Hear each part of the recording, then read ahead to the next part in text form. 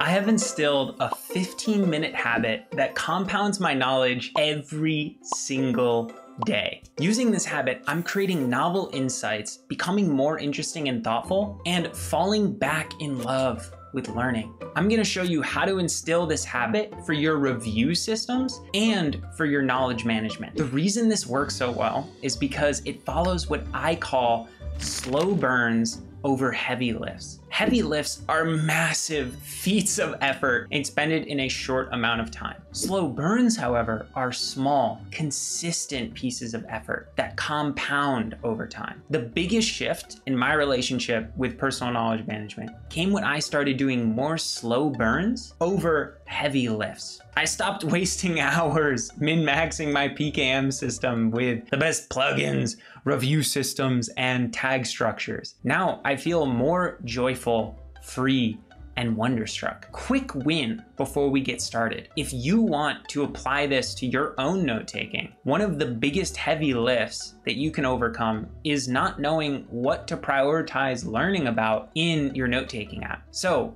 if you use Obsidian or want to, then I recommend getting my free beginner Obsidian resource list in the description below, which is gonna let you learn the 20% of things that you need to get 80% of your results in Obsidian. It includes all the resources I wish I had on Obsidian three years ago, like links to the community, my best curated content, and links to the best creators. So back to the video. How can you make the shift from heavy lifts to slow burns? Let's talk about what slow productivity is to understand. As described by Cal Newport in his book, Slow Productivity, slow productivity challenges the conventional fast-based, volume-obsessed approach to work and productivity. Newport advocates for a more deliberate, quality-focused methodology. And this approach emphasizes deep work, where one concentrates on fewer tasks, but focuses more deeply on the tasks that they do. The idea is to reduce the stress and burnout associated with constant pressure so you can work with higher quality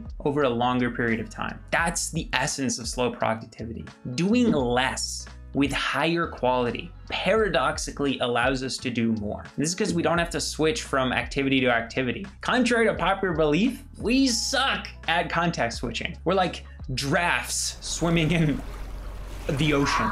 Our brain can't jump back and forth like a computer processor. When you multitask, you actually switch rapidly between the tasks that you're doing, destroying your focusing muscle. Slow productivity recognizes this and advocates for less context switching and work spread out over longer periods of time in more focused sessions. So let's apply this to our PKM practice in a 15 minute habit. Firstly, let's apply it to our reflection and review, which is the first half of the 15 minute habit. So for years, I've been doing daily, weekly, monthly, quarterly, and yearly reviews. And this has allowed me to learn so much more about myself, my patterns, my characteristics, feelings, thoughts, what brings me energy, what takes away energy. It allows me to plan more effectively in the future using this knowledge. You're probably thinking, God, this must take like hours every single day. In reality, with slow productivity, it takes at most 10 minutes a day. The secret is doing small, consistent efforts. I have a daily review that I fill out every single night, which takes around 10 minutes at most. This is the bulk of my review process. As you can see in my template right here, simply write about what was the most story-worthy moment of the day, what significant things happened, what did I dream about, what was the best thing I learned, stuff like that. Then when I sit down to do a weekly review every week, I go through all my daily reviews and review the week. And I do the same thing for my monthly, quarterly, and yearly review. Now that takes a bit longer, but the point is that with just the daily reviews, making this small, easy effort, I massively reduced the friction of journaling and learning more about myself. If you want to learn how to do regular reflection and review yourself, you can check out my video up above on how to create your best life with regular review and planning in Obsidian. Now, what about slow productivity applied to compounding knowledge? Simply put, my habit for compounding knowledge is growing at least one note in my note taking system daily.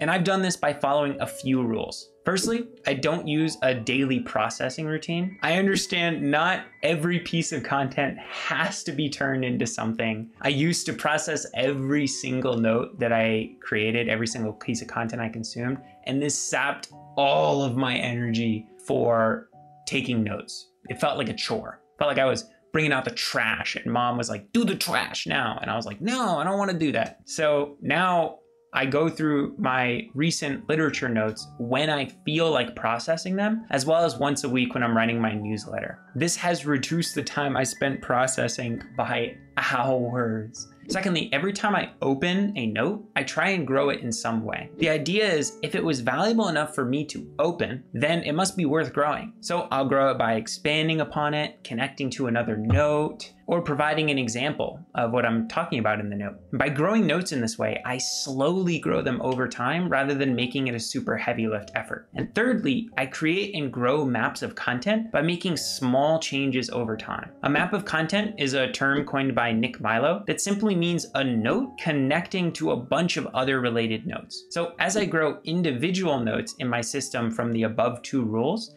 when I hit a mental squeeze point, which is the point at which the level of disorganization becomes so insane I have to organize in some way, then I'll create a MOC and I'll just slowly add to this MOC and revamp it over time as I get more notes related to it instead of making it one massive heavy lift. So by following all three of these rules, it allows me to compound my knowledge in just a few minutes a day through creating or growing at least one note. And the beautiful thing is if I feel like doing more, then I'll do more. There's no rigid rules. I just need to make grow at least one note. So find out how you can start applying slow productivity to your PKM system. Try and do more slow burns than heavy lifts. Start feeling more free, joyful, and wonderstruck when you enter your PKM system instead of like it's a chore that you have to do. One of the best ways you can start applying these principles is by checking out my Obsidian beginner resource list, which is going to give you the 20% of things that you need to get 80% of the output with Obsidian. It includes all the resources that I wish I had on Obsidian three years ago, like links to the community, the best creators to follow, and my most popular curated content on Obsidian. If you want to check that out, it's in the description below. As always, have a fantastic rest of your day, eat some peanut butter, and bye-bye.